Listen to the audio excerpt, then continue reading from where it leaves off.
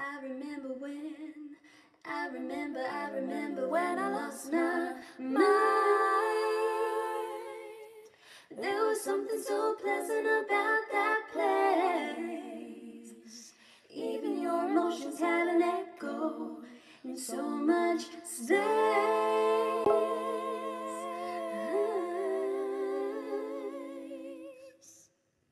And when you're out there without a care, yeah, I was out of touch.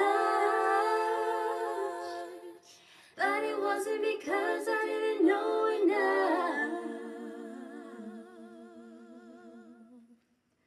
I just knew too much.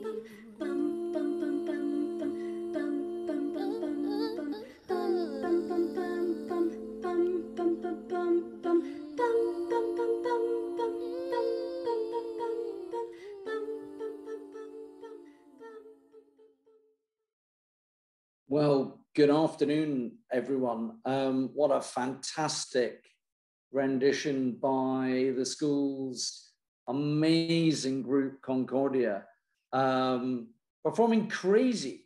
Um, probably all felt a bit crazy by Gnarls Barkley, all felt a bit crazy in the last um, 12 months. I'm really delighted to be um, bringing together uh, the first in this new series of conversations It's called Fire Up uh, the Future.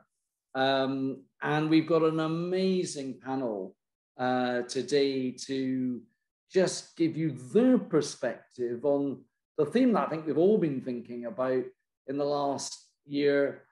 None of us have ever done a global pandemic before. Um, and what's it felt like? What's it meant? Um, how is it how's it changed all our all our lives. It's it's been difficult. It's been crazy. Um, it's been quite emotional and sad uh, uh, in in places.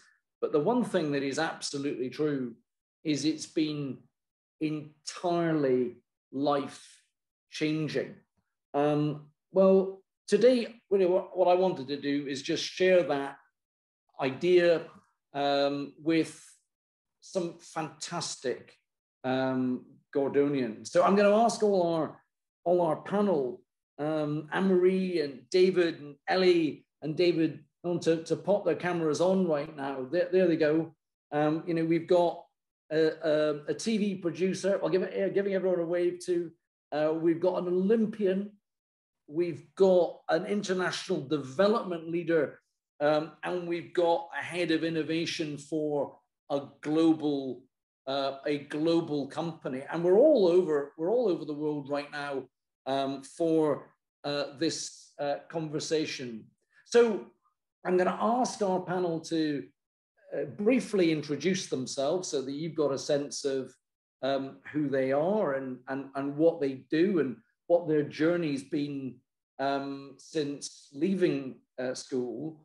And then we're going to have a bit of a, a chat amongst ourselves uh, on, you know, really how everyone's done the past year, how we've all kind of got through it and come out the other end, and what we're kind of hoping to see kind of come forward um, in in the future. Um, and then we want your questions. So if you see in classic Zoom format, there's a Q&A box right at the bottom of the screen.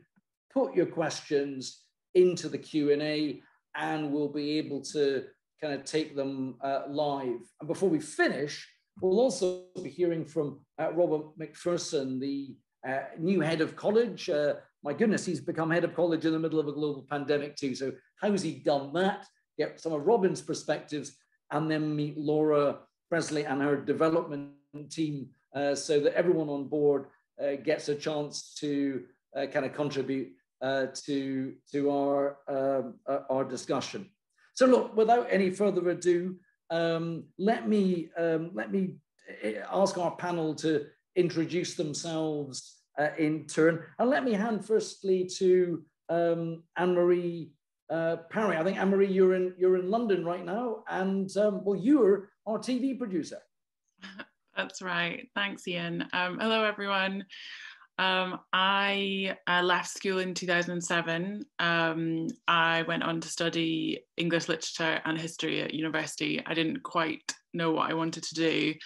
I had always been interested in journalism, um, and when I uh, left university, I returned to Aberdeen to do a master's in journalism. And then from that, I got my first job at the Press and Journal newspaper, where I was for a couple of years. Um, I also um, worked in politics for a little while. I worked for the SNP, both in Scotland and in Westminster. And then I missed the newsroom too much and decided to to go back into journalism properly. Um, and I've been working at Sky full time for the last three years. Um, and currently, I'm a producer on the news at ten. Um, so lots of variety, lots of international stories. Um, it's it's really really exciting, and every day is different. Thank you. Well, we'll, we'll no doubt talk about what it's felt covering a pandemic as well as uh, what it's felt to you thank you. Let's let's go to our from our TV producer to our Olympian. Uh, let's go to to David Carry. David, you're on mute, David. As they say in it's a very 2020 you, you idea. Thought, like a year of doing this Zoom thing, and I still haven't quite got the hang of mute. Anyway, um, yes, left school in 1999. Um, I, I, introduced myself earlier as doing a bit of swimming. Yeah, I, I went to three Olympic Games. I thoroughly enjoyed every single one of them. Um, and then uh, went from there into a, a, life of being a consultant for a few years before realizing that I kind of wanted to start my own business. Um, and fortunately found some incredible people to do that with, all of whom who'd been uh, involved in the world of elite sport. Um, and so now, uh, very fortunate to have a team of incredible people, uh, former Olympians, Olympic champions, um, head of sports science, all this kind of stuff. And we uh, work with leadership teams uh, around the world. Um, the majority of our work now is focused uh, with um, those incredible companies in Silicon Valley. So, working with uh, some uh, amazing organizations, but essentially taking a lot of what I've learned um, in the world of sport, dare I say, even some of the things I've learned in school as well, um, to support these teams uh, to, to perform at their absolute best. Um, and uh, there's a kind of a, a phrase that we've coined, which is uh, winning well. So, how do we support these leadership teams to win, but do it in a way that is sustainable, that uh, allows them to perform at their best and see the the moment of time that they're in this team as as uh, a life enhancing one, which uh, during this pandemic has added extra um, challenge, but also extra joy for some of them as well. No, that's great. I hope people are kind of performing through this, and it's great to see sport starting to come back as well too. So we'll no doubt explore that a bit more. Great to see you. Um, let's go to our international development leader now, um, Ellie. Hi, thanks, Iain. Um, I also left Gordon's in 2007, and then I went on to Edinburgh and also did English literature and history. So kind of, um, and then after that, I moved to Kenya for a little bit. I worked on a production crew for a media development organization, which was excellent. Moved to London, worked for Comic Relief. People with the red noses. I'm extremely on brand today with my red. Um, worked with them for a year, which was fantastic on Sport Relief and various different other events. And then I moved to BBC Media Action, who are the it's the BBC's international development charity. And from there, I've had some fantastic experiences of managing projects across the world, huge amount of travel in kind of East Africa, Nepal. Um, the beginning of the pandemic, I actually moved to Cambodia to start a job out there with the team. Came back after three weeks in quite a dramatic fashion. Um, and then since then, I've been working with the team in Afghanistan. I'm the senior projects manager and managing a series of media and communication projects for development issues. So we do stuff on COVID 19. Um, we make a radio drama about how to protect yourself from COVID 19 in Afghanistan, program like Question Time, it's called Open Jirga. And then we're also training female journalists. Um, and it's, yeah, an incredibly rewarding place to work. And this year, I'd say, has been the quietest on record in terms of socially, but professionally has been the busiest I've ever been. Um, so it's been, yeah, really a very interesting year. Yeah, it's that thing, isn't it, Elliot, of uh, us all feeling more connected than ever, but in a way more disconnected too. It's kind of strange, isn't it? Um, thank you. Um, last, certainly not least, we're going stateside, um, and we're going to hear from our um, innovation leader, David Milne. Hi, everybody. Uh, my name is David Milne. Um, I left Gordon's in 1973, so I'm the mature student amongst us. Um, I then went on to study architecture at the Mackintosh School of Architecture in Glasgow. Uh, on graduating, my first job offer was actually in South Africa. I actually went there on a a three-year um, stint and ended up staying 15 years. I actually uh, started my own company there, uh, architectural company.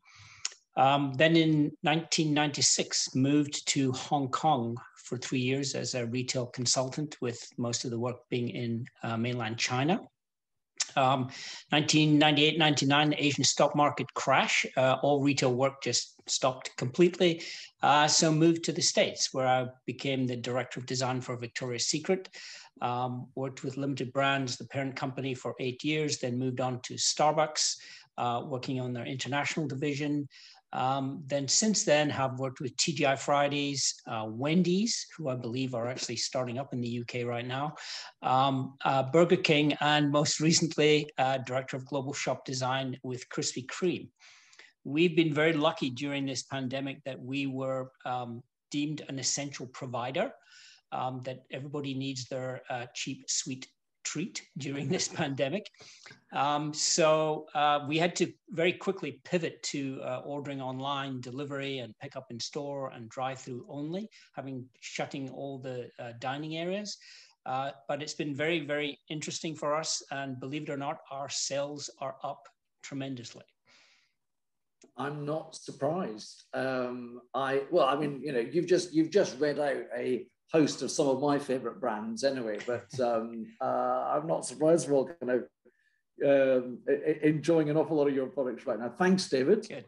Um, so yeah, look, as I say, um, we're going to have as a group, we're going to have a bit of a chat about how we've all been apparently coping, living through this uh, pan- pandemic for uh, the next few minutes or so. But uh, but you know, put put your questions in, put your questions in the Q and A, um, and they'll get passed to me um, and we'll start to sort of open up uh, the discussion beyond the things I want to talk about, the things that you want to uh, uh, talk about. We've got Gordonians from far and wide. We've also got one or two um, uh, current uh, students um, at school um, uh, um on, on board as well to, to give us their, their thoughts.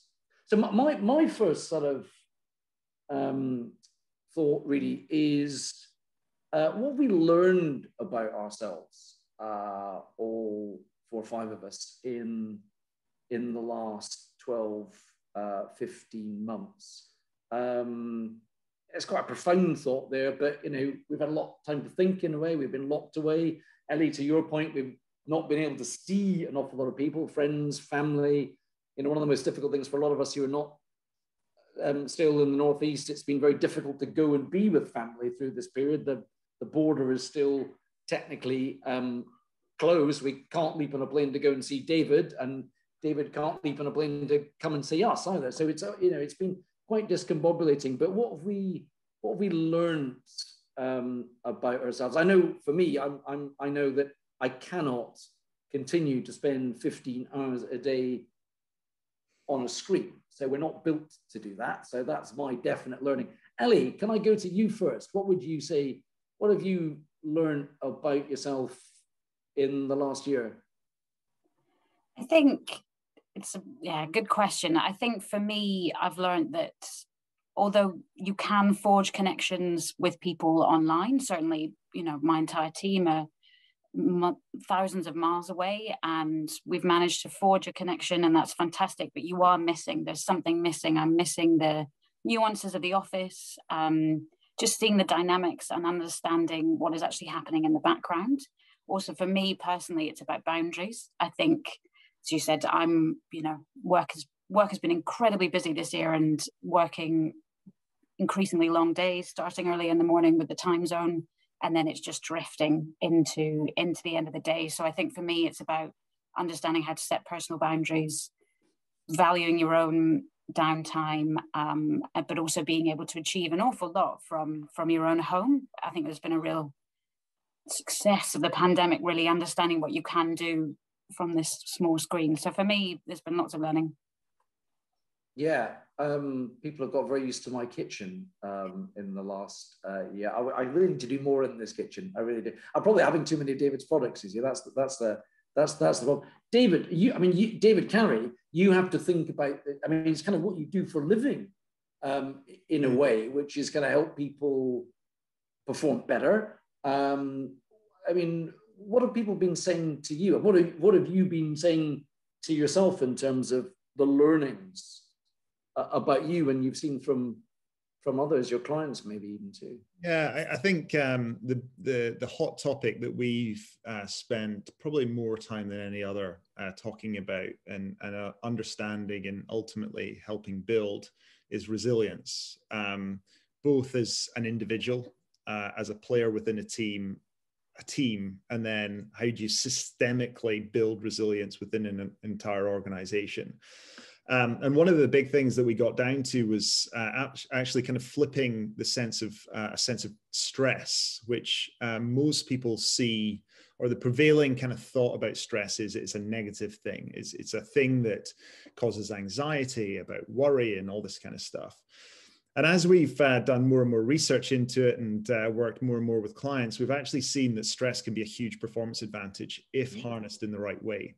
Um, and if we think about anything that's uh, you know significant in our lives that we've achieved, actually there, there is always um, an element of stress within that. It's just that sometimes we're able to channel that stress in a way that's positive, uh, and sometimes there's uh, the stress unfortunately turns into um, a kind of internal focus of anxiety and worry. Uh, we call that kind of state threat state. So there's actually a kind of chemical reaction, a biological reaction that's going on inside you. Um, but when stress is seen as a, an advantage, a real positive, um, that is what we describe as challenge state. And again, there's a real chemical reaction that's going on inside your body, and you fundamentally feel different. You see things differently. You suddenly see opportunities rather than uh, threats. Um, and it all comes from our kind of caveman brain. But the amazing thing is that we've been able to, to really help people understand exactly how to harness that in this world because you'll remember this time last year there was nothing but perceived threats going on all of a sudden you know freedom was um, you know freedom was um, curtailed. You know, you certainly weren't allowed to do certain things. I'm not sure by this point. I think perhaps about this point last year, uh, the furlough scheme was announced. Yeah. Prior to that, people were terrified about you know job losses. There was going to be mass unemployment. You know, real uncertainty about where things were were going. And so being able to give people the opportunity to understand that, and I've certainly learned a huge amount through that around really how to to shift perspective um, understand that, that, that stress and pressure is not actually a real thing. It only happens in here, mm. and it's how you how you use that to to um, channel it for good as opposed to inner torment.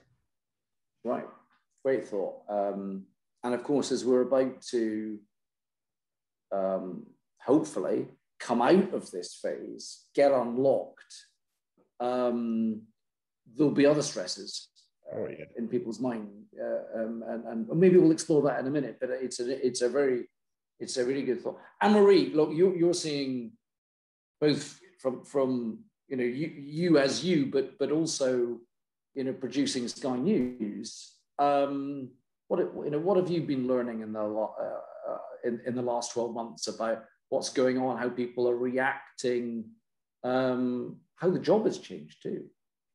Sure. Well, I guess it kind of it's probably picking up from like the end of Ellie's point. You kind of learn how much you can do. Um, I guess it's it's kind of odd sometimes hearing people talking about being sort of you know used to getting used to being home, used to sort of you know having to set those boundaries between sort of you know working from home and, and their home life because I I haven't had that over the past year. We haven't I have done some working from home, but not a lot. For me, it's been the same routine of of getting up and going into the office um, because you know I don't have a TV studio in my bedroom. I don't have a, you don't? a gallery. so obviously, it's that our our um, industry does present some more challenges, but at the same time, if you had said to me when this was all kicking off last year oh, Sky News will have, you know, a limit on the amount of people that we can have in the building safely. And we will have to work from home and produce live TV from our laptops. I think we would have all turned around and said, no, that's not right. we won't have that. But we have, and we've had entire programs that have been, um, you know, staffed entirely from people who are working from home. Um, you know, and it can happen. And I think it's it has shown us what's possible. And yes, it's um, can be quite stressful to David's point, um, but I have managed to produce, you know, live TV news reports from um, from home from my laptop, and you can you can do it. So um, yes, it takes a bit longer. You know, connections between working with editors who are at home as well. It's tricky, but it's um, I guess it is about finding the ways around those problems communicating in different ways. Um, so yes, I kind of feel lucky in a sense. I've never felt, oh, you know, I can't wait to get back into office to see people because it's it's it just hasn't been that way around for me. And I hear a lot of my friends really struggling with mental health, really struggling with, you know, not seeing people. And I haven't had to deal with that. So yes, it's been very challenging in other respects. It's quite stressing a lot of the footage we have to work with a lot of the stories we're covering mm. um, you know speaking to people we at one point um, last year we kind of um, made a virtue of um, you know picking out some of the, the, people who had died because it was every night we were reporting these huge numbers of people that had died every single day you know more into the thousands and you think that you know that's never happened in our recent memory in the UK before that every day we're reporting on this many people that have died. So we were kind of picking out those people, speaking to their relatives, putting their pictures on TV, you know, saying, this is their name, these are these people. Um, but yeah, it was tough. It was really, really difficult. And I think also the other thing I've learned is to admit that it's not okay, you know, and to say, yeah, I got into my car and I cried all the way home because there was times when it was that tough at the beginning. It really was. So um, yeah, big learning curve in, in lots of different ways for me this year. I, I never thought I would.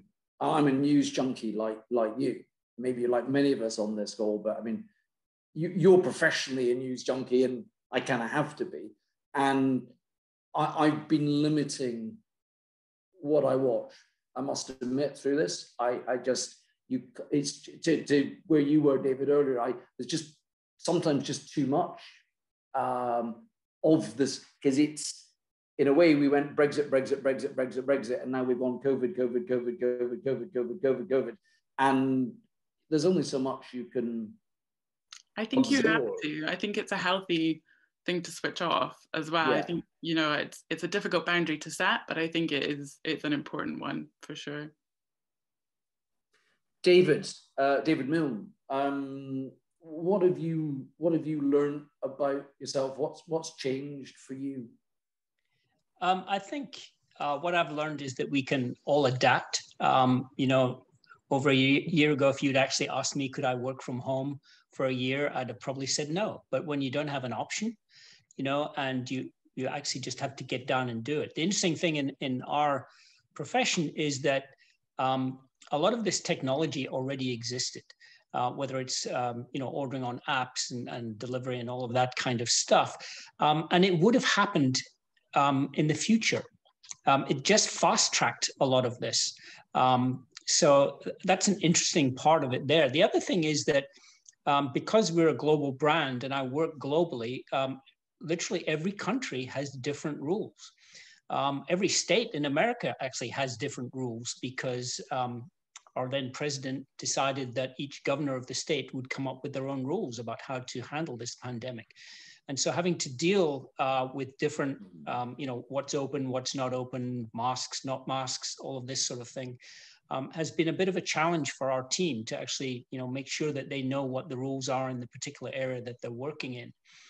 Um, the other thing from my point of view, and I, I never thought it would be such a relief, um, I actually did get to travel recently. I've actually just come back from South Africa. My daughter was taking part in Olympic diving trial, trials there.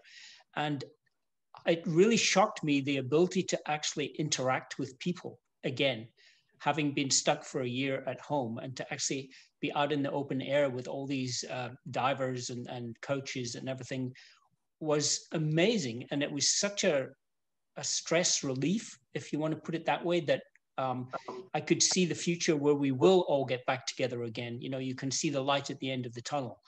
Um, was uh, enlightening for me. I never thought that I would uh, feel that way towards it. Um, the other thing is that um, I believe you have to keep your eyes open for opportunity. You know, um, during this time, there, in, in my business, you know, there have been a lot of restaurants that have actually gone under, gone bankrupt, and, and closed. And uh, we have been um, approached by a lot of um, landlords saying, "Hey, we've got all these closed restaurants. You know, uh, we'll offer you great terms with this. You know, we'll offer you rent reductions. We'll we'll put in tenant money. We want you to open your stores here because you're successful, and and it has um, given us a, a, real boost in actually uh, developing new stores. Now, it's horrible that people have have suffered because of this, but I also believe that you have to keep your eyes open and embrace opportunities when they when they come. Have we and then I'm going to ask Ellie this. So, so I'm going to, I'm, I'm deliberately doing this. So I'm not one of these awful chairs that then suddenly ask you something and, and you don't know what the hell I'm going to ask you. Do you think we've, be, David, David Milne, do you think we've become, I mean, the, the pandemic is global. Of course it's global. It knows no boundaries. And we've seen that literally. But has it made us, you know, you work for a global business. Has it made us, will it make us less global in outlook? Or more global in outlook? What do you think? David Milne. Uh, that, that, that's a very interesting question. Um, Um, I'm not quite sure how to answer that. Um, I think uh, from from my point of view, uh, more global. Um, I mean, for, I'm just loving to be able to get back into travel again. Right. Um, I used to travel globally, and then it was just taken away, and Yeah. suddenly realizing what you take for granted um, is, is is gone. But yes, there's definitely uh, opportunities in new countries that we're finding coming up. Um, so from, from my particular business, um, it's it's fine, but I know there's a, lot of restaurant and retailers who are having to shut down.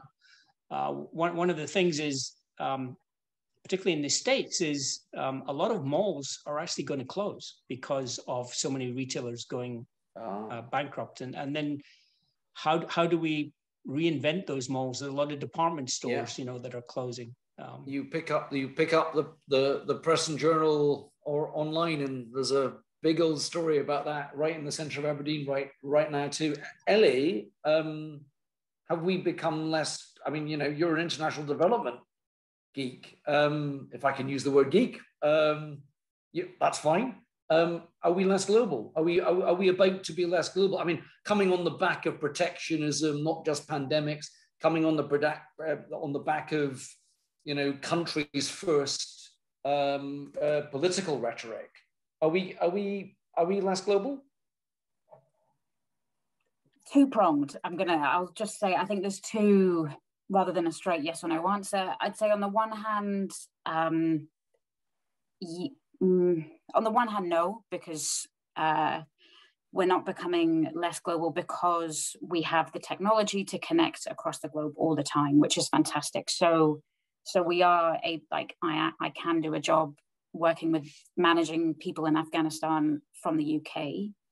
Unfortunately, underneath that definitely yes there's a huge inequality of the vaccine rollout at the moment there's also different concerns across the globe i think it's very interesting um, seeing the pandemic and experience the pandemic within the uk because certainly in developing countries where you've got a myriad of different issues um, certainly afghanistan probably being one of the most extreme examples. Honestly covid-19 is priority seven on on your list. There are many other things that you need to deal with first. And yes the global pandemic is awful but it looks like it looks like a western problem really and it's also there's you know this huge amount of, amount of rumors for that. So it's almost it feels like the uh at first at least it was the west being crippled by that. And certainly there was a feeling that when you were traveling to those countries that it was uh us kind of bringing it in. It was the thing that and so there was a huge amount of animosity towards it. So I, I it hasn't helped in terms of global collaboration, people feeling um, we're all in it together. I actually that isn't the case. Not to be really pessimistic, but that just isn't the case.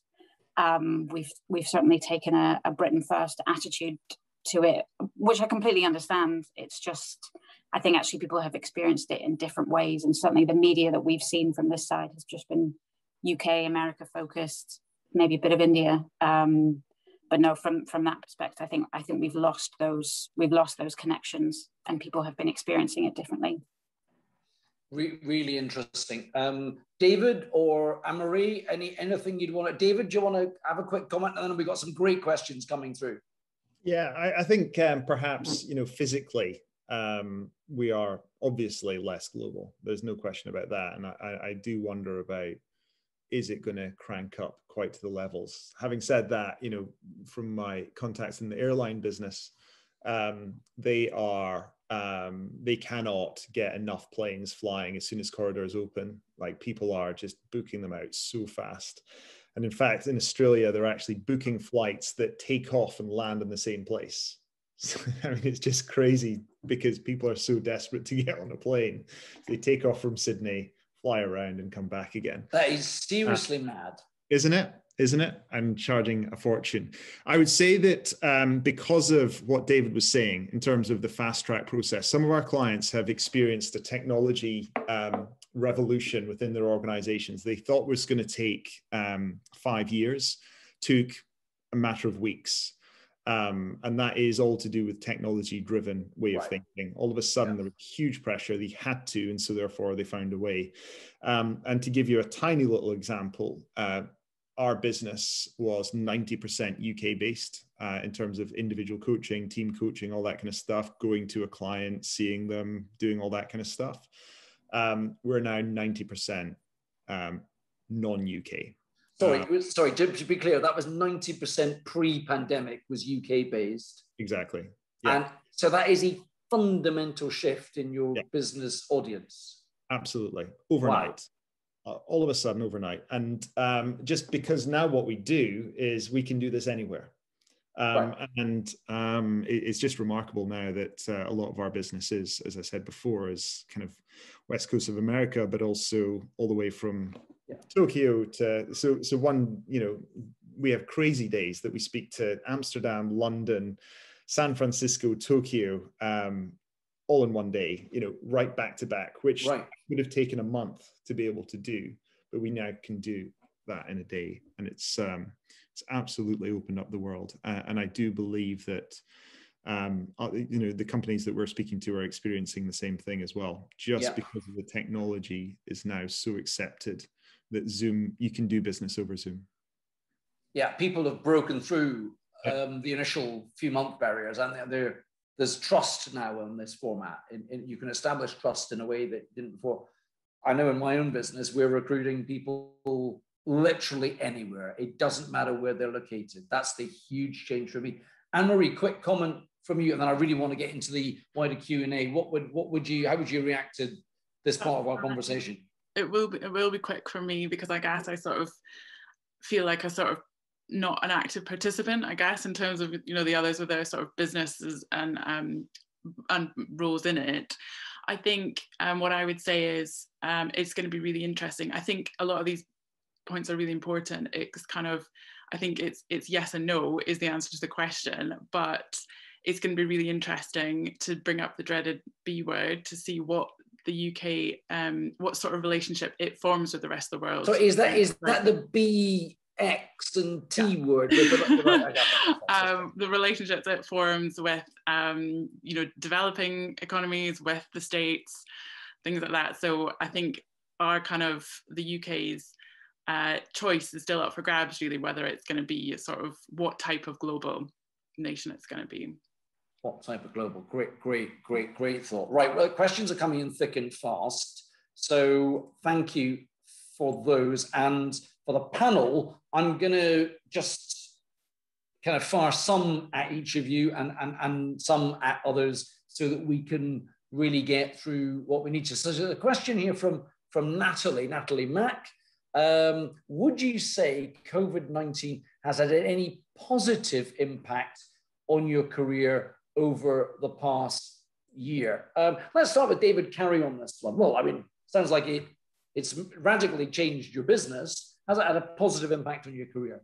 Yeah, I think um, it's just kind of reinforced to me. Uh, David Milne mentioned this earlier. Adaptability so important, and but the key thing, certainly that I've discovered, that you can only truly be adaptable if you know who you are, what you stand for, what your purpose is, whether that's for yourself or for your business, with that kind of core identity of who you are, what you stand for, it's much easier to be adaptable because you can let go of stuff that's not important.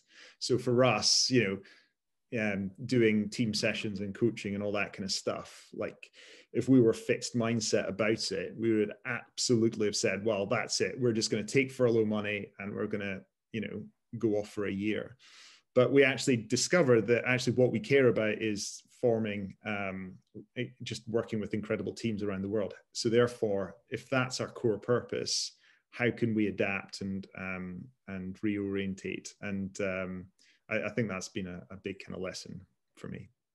Right. Let, us stick with the same question. Um, anne-marie positive impact on your career or not? Uh, no, I think it has had a positive impact on my career. And I think um, possibly slightly more outside of work as well, it's probably had a positive impact on me in terms of I wouldn't say that I'm a natural sort of five year, 10 year plan person. I just sort of went with whatever I wanted to do. And I think it's turned me into that a bit more. It's kind of made me think, oh, actually, what do I want my work and home life to look like in five years' time? Do I want to work from home? Do I want to be doing a job that's um, not shift work, or do I want to still do that? So um, I think it's had a positive impact in terms of me, um, you know, talking to my colleagues, thinking about progression, and actually, you know, working out what I want to aim for at work and sort of at home, if that makes sense. No, no, because there's, there's more in your kitchen or your study or wherever it is. There's there is there is a little bit more time to think. Well, certainly before the Zoom calls get going, bit. but there's a bit more time to think without the commute, isn't there? Um, let's go to David, the other David, David Milne. Let's go to America on this one. What what positive or negative on your career, David? What do you think? Um, I don't think it's affected my career as such, but with with the brand, you know, there's been so much, you know, opportunities for marketing, if you want to put it that way. Krispy Kreme has sort of said if you if you can bring in your vaccination card to prove that you've had your vaccination, uh, we'll give you a free donut, and you can have a free Ooh. donut every day for the rest of the year if you want. You know, so there's marketing opportunities there. Um, interestingly enough, my my wife's business, so she's in real estate um, in the States, what you're finding is this huge shift now taking place because people have figured out, particularly in the financial sectors, that they can actually work from anywhere. Yeah. That there are people moving from New York, from California to places like North Carolina, where it's much more affordable. Um, and so there's a shift taking place of, of people moving across the country to more affordable states, uh, which is, is pretty interesting. But it's also affecting um, a lot of other businesses who are saying, okay, if these people are living in more affordable states, we don't have to pay them so much. So they're renegotiating salaries down. Uh, if you don't have to live in California anymore, you don't have to pay all this money for the, the your real estate. So um, uh, companies are actually re-looking at their G&A and and if they can actually negotiate with people to have less salaries, which is you know it's not very helpful for some people, but um, um, I don't know, people look at uh, opportunity anywhere, whether it's good or bad. Well, one of the things that's been going on in this country is the sort of premium on green space for those living in cities. You know, the the sort of garden envy that people had in metropolitan centres in the first lockdown. I mean, the really severe one, where people living in apartments were stuck in apartments and couldn't, you know, necessarily other than their, you know, daily exercise, you know, get get out. So that was yeah. I, I remember. Um, so I had uh, this young lady who's who's working for me, you know, and we were on Zoom calls, you know, and I could see that she was under some stress. And I was asking her, you know, what the issue was, and she was sort of saying, "Well, David, you know, you're okay, you know, because you live in a reasonably big house, you can move from room to room. You know, I live in a bedsit. She said, I move from my bed four feet to my laptop. That's what I do all day and it was really really getting to her you know and it was like yeah. she was wanting to to to move out um yeah very um, stressful um, for her ellie good or bad for ellie's career in the last 12 months? What do you think? It's actually been very positive in a in a bizarre way. Um yeah it's um increasingly communication and what we do at BBC Media Action has become so important in terms of so we communicate about health behaviors and um, we had a huge amount of opportunity at the beginning of the pandemic. We worked with WHO and we're working with big um, governments to to communicate those those messages about what you can do. So what everyone saw in the UK, wash your hands, social distancing, we do that in Afghanistan. And so I've been part of conversations with UN organizations about kind of vaccination rollouts. Um, that was two hours of my day yesterday about how we communicate that. And so, um, and it's not something I probably, I wouldn't necessarily be in Afghanistan due to the security situation. So I've had the opportunity to, to work in a country like that, um, to work in a very challenging senior position without necessarily actually having this kind of security issue that comes with living in a country like that. So, so for me, it, yeah, some really interesting, if very challenging uh, things in my career. Okay, so next question here um, from, I think it's Richard uh, Levac. It's uh, RJ Levac is on my screen. So I think it's from Richard. Hi, Richard. Um, would the panel agree that the pandemic has been good for the environment? less flying around, lots of other things, I suppose. And what changes to your lifestyle have been good for the um, environment? Uh, Anne Marie, go on. What have you? Has it been good for the environment, and what have you changed about the way you live? Um, I think initially I'm I'm shaking my head just because of you know the amount of plastic from PPE, things like face masks, and unfortunately you see them sort of you know on the street and things like that. Um, I think you're right that definitely you know not so much flying. Um, that's probably probably really helped. It's something that um, has been really I don't know, good for Sky. Sky News is quite um, Sky as a company, a, a sort of bigger company, um, is really focused on environmental issues. And at Sky News, we've just launched a daily climate show, which is, I think, the first one um, on, on a sort of mainstream broadcaster. So that's been something that's really, um, I think it's a good time to do that. It's, it's kind of, it's probably a time that we can focus on sustainability. Um, I think in terms of my personal lifestyle, I don't feel like, you know, I'm still driving in and out to the office every day. Um, like I said, I don't feel that that's particularly, you know, a plus point. Whereas, you know, most people, I guess, you know, my husband's at home every day working, so he's not, you know, riding his motorbike into into the city every day. So that's something. And we do our bit, you know, to recycle and and do things like that. So I think definitely some good things, um, but not not in other senses. I think again, it's sort of it's one of those things that we could really take on board and make big changes coming out of this. Um, but it hasn't really been, I guess, and obviously there have been much bigger issues, health concerns to think about. But I think the the conversation around sustainability hasn't really been as as um, big or as kind of at the forefront as I thought it might be in terms of coming out of this? It's interesting that I, am you know, the companies I'm working with and uh, advising are are really, I think, properly thinking about sustainability now. Are they doing anything? Some are, some are catching up, but the consumer and investor pressure to do something is pretty is pretty palpable now. Um, David, um, David Carey, what would you say um, uh, are you greener? Are your clients greener? Um, or are we all kidding ourselves sitting at home with the gas and electricity on all day in a way that we wouldn't have done if we were in an office?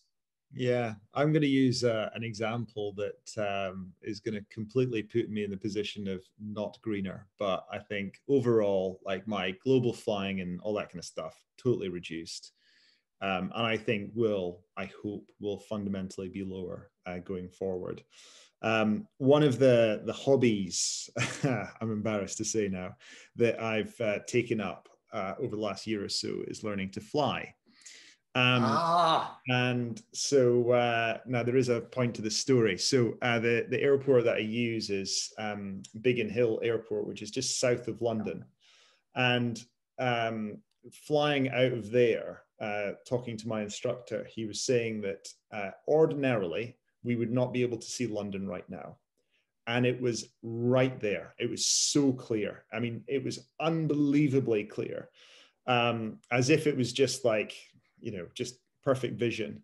Um, and uh, he said that that's been over a year now that they've been able to the, the air quality is so improved i mean it is just completely different as a result um, and uh, who knows if it's going to be a lasting difference but like you know the the the, difference is is there uh, the the place has had a breather um, and I, I, think that coupled with knowing the number of people uh, that are now uh, number of organizations that are now kind of moving out of london um, repurposing mm-hmm. the offices probably moving to more of a you know either between some somewhere between 40 percent um, and 60% of the, the working week is going to be in the office, those journeys will count. That will make a difference. So I think um, the, the general kind of hubbub will be less. Um, but uh, let's wait and see on that one. Yeah, it's great thought. I'm, I'm going to switch theme a bit now uh, for uh, David Milne and for, for Ellie. Um, uh, Hugh Little is on board, class of 75. Hi, Hugh. Um, Hugh says, I'm a great believer in good communications being paramount to success within any organization, whatever it is, public, private, third sector. Have we improved communications as a result of COVID? Can we ensure any such improvement is maintained or developed further? Um, I might even give a stab at that myself because it's kind of what I do for a living. Um, so the answer is, I think we're over communicating, Hugh, in my view.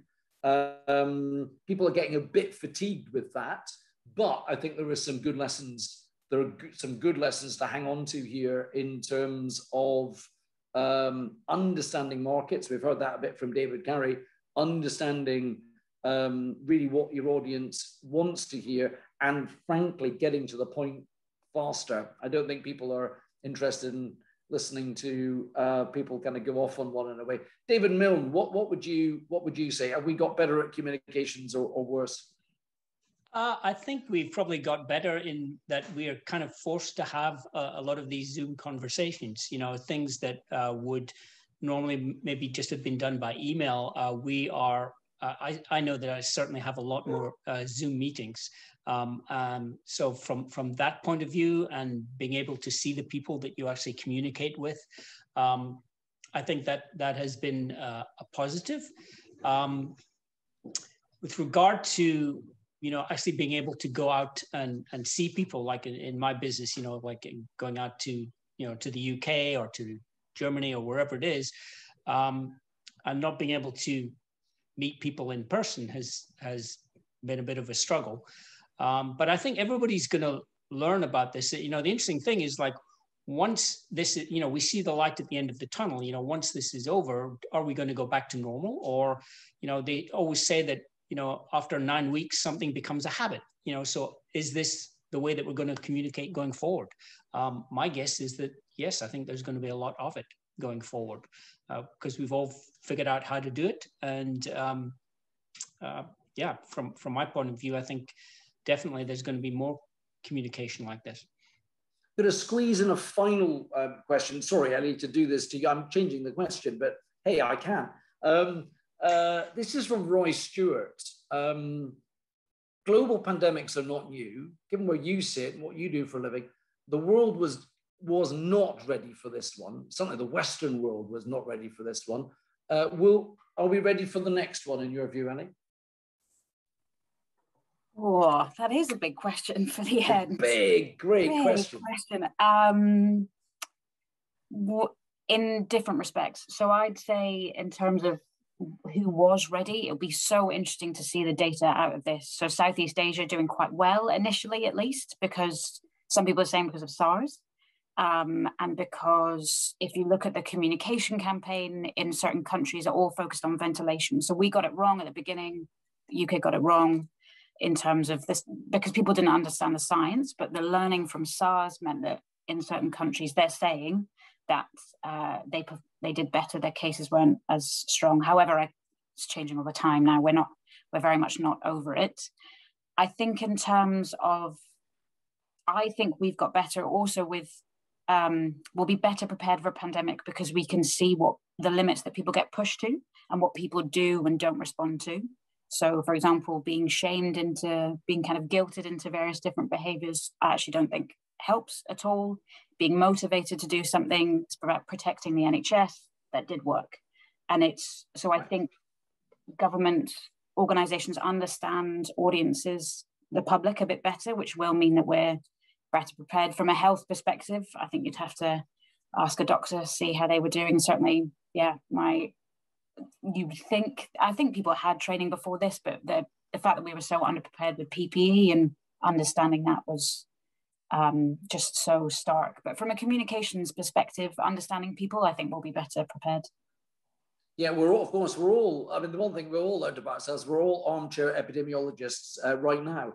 Um, right, really quick final question, um, which um, I think is um, um, I think it's a great question. Um, from Paul Stevenson, thanks, Paul. How can we assist the school? Uh, how can we assist school and university leavers, um, school and university leavers? How can we help them adapt to the new university and postgraduate life? That's a great question. Maybe just get some really quick answers from everyone. I'm literally just gone onto the court of the University of St Andrews, and it's been really tough. The freshers experience doesn't really exist in the same way. It's all been online. Um, but um, let's just whiz around the panel really quickly, and then I want to bring in head of college uh, Robin McPherson, maybe on exactly this question too. Uh, Robin, if you want to pop your camera on, and I'll just whip the whip around the the um, uh, the the, uh, the, the panel first. How can we assist school and university leavers right now? David, Carey, what do you think? Uh, I, am a huge believer. It's not what you learn; it's uh, how you learn. And if you can figure out how you learn, then you're going to be in great shape. Because the like, it's an old adage, but the skills that you'll need in 10, 15 years' time don't even exist right now. So, figure out how to acquire skills. Yeah, we don't even know the jobs that will be there in 10 years' time, probably. Um, Ellie, what do you think? How can we all help um, folks leaving school and, and thinking about either the world of work or a bit more education? I think it probably is about skills and also under helping them get the value out of their education. You know, we had um, university fees introduced a number of years ago, and there seems to be a huge disparity between what that you know what that gets you now if you're expected to pay for your education especially in this time so i think a kind of trust in universities in in institutions about what, what they're offering online and what what you're what the support you're getting um, and to make that value for money really because because yeah there's there's many other things that i think people will be looking to do education looks a lot different um, and so then there needs to be a really strong value in that and it's about institutions communicating that Anne-Marie? Um, I'd say remember that, you know, employers are looking for not just an employee, they're looking for a member of their team. Um, so it's about kind of you, the person, as well. Um, and I'll never forget when I was in my interview for the Press and Journal, I didn't have a lot of, um, you know, specific journalism experience, and I was really worried about that. But they were really interested in the fact that at university I'd been really involved in the athletics club. I'd held a lot of committee positions. Um, I'd been the club president at one point, and they were just so impressed by this. Um, and I, I'm glad they didn't ask about any of my times or my actual sporting performance. But still, you know, I'd, I think it's just it just shows that actually, if you can show that you've volunteered or you've done something interesting or you've you know helped organize you know a a club event, whatever it is, I think I think the extracurricular at university is just as important. I'm not just talking about social events.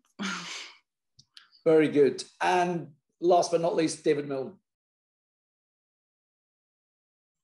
Um, I think the, the main thing is to be adaptable. Um, you know, because things uh, have changed, particularly in the States here, where, you know, university education is so expensive um, that a lot of people, uh, f- for instance, my daughter has actually taken a year off college because uh, she didn't want to spend her senior year uh, on Zoom calls. Uh, she wanted to have the actual college experience. Um, so hopefully that is actually going to come back. But I do believe uh, from what we were saying before, um, with some of uh, this stuff becoming habit, that there are going to be a lot more college um, courses which are actually online in, in Zooms. You know, colleges again are going to look at, at ways that they can actually save money. And so there's there are going to be virtual classes, whether we like it or not. Perfect segue to uh, Robin McPherson, um, who has become head of college in the middle of a global pandemic. Uh, Robin, your reflections on uh, what we've been talking about this afternoon.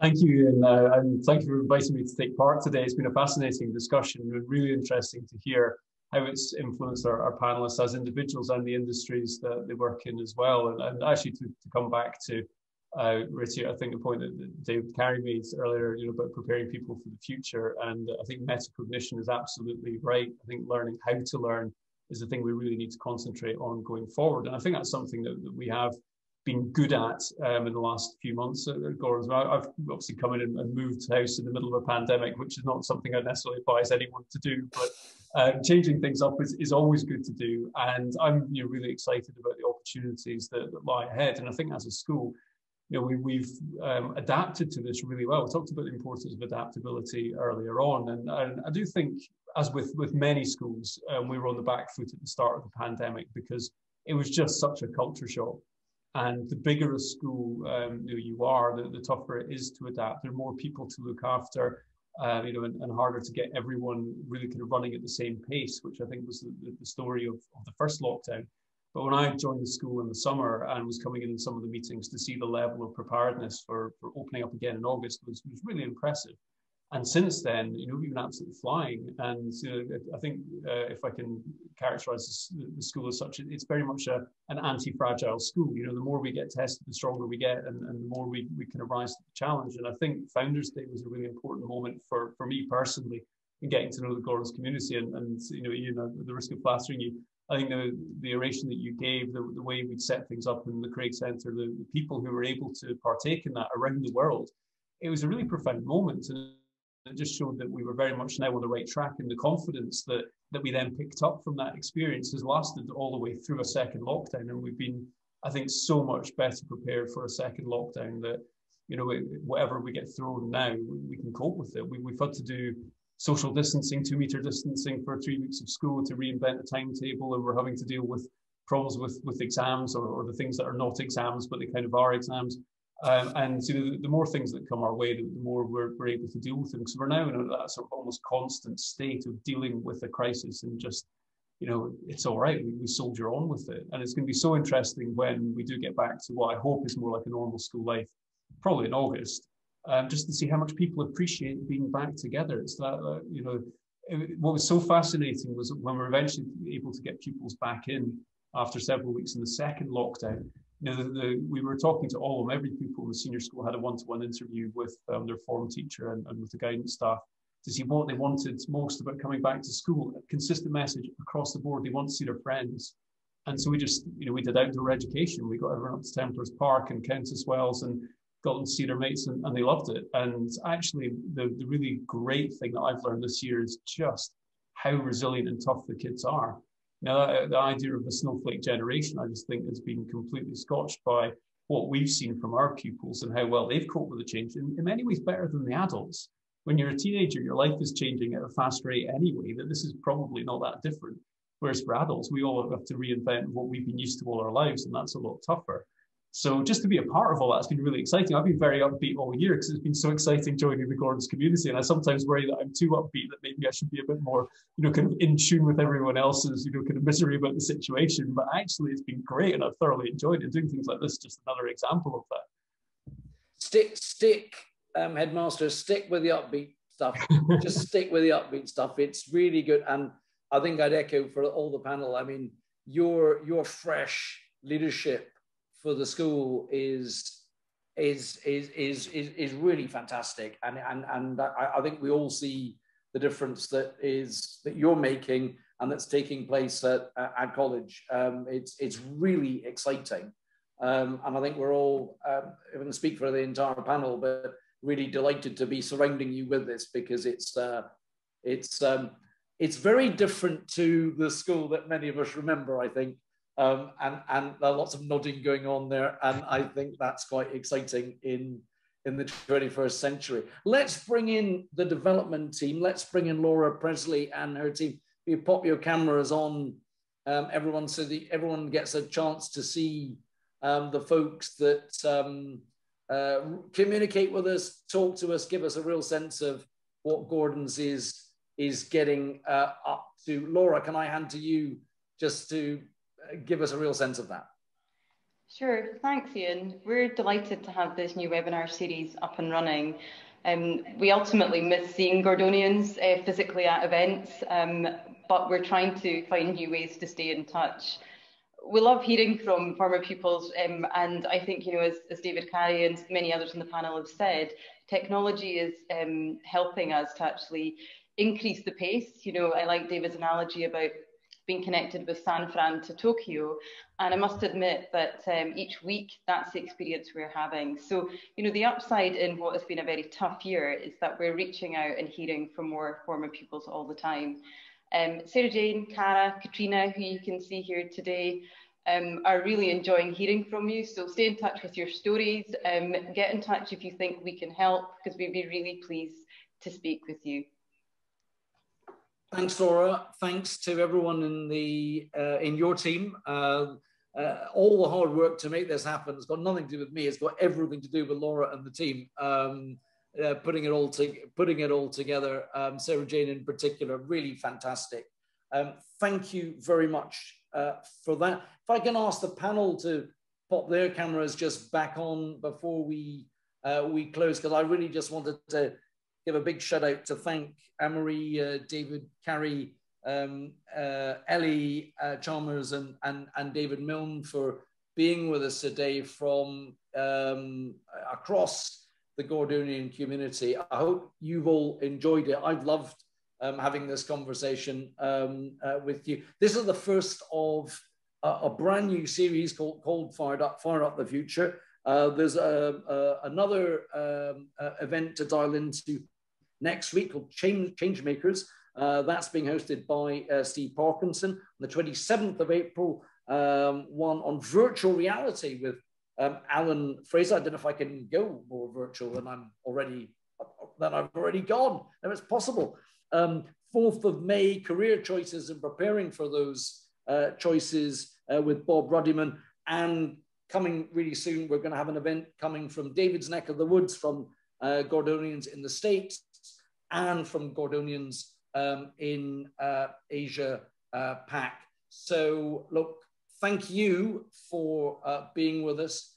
Thanks so much uh, to uh, our, our, panel. I hope you've enjoyed it. I really have. Um, and from everyone um, at, at, at, the school, it's goodbye.